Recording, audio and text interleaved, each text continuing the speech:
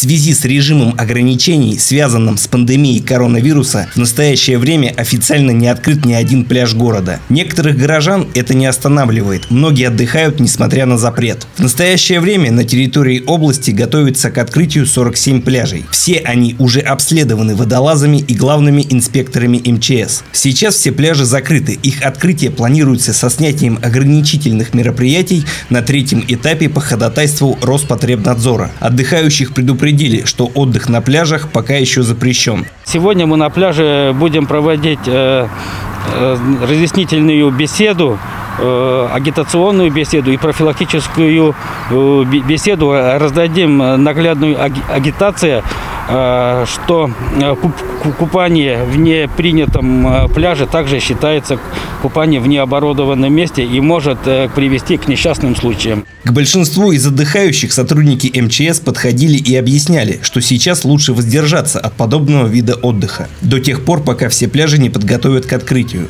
На территории области ни один пляж сегодня не принят в эксплуатацию.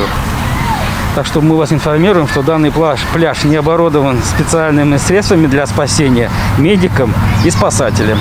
Работники МЧС попросили рязанцев с пониманием отнестись к временным ограничениям, призванным сдержать распространение коронавирусной инфекции. Объяснили, что в ближайшее время пляжи официально откроются и уже там установят раздевалки, биотуалеты, скамейки, организуют дежурство медиков, спасателей и полицейских.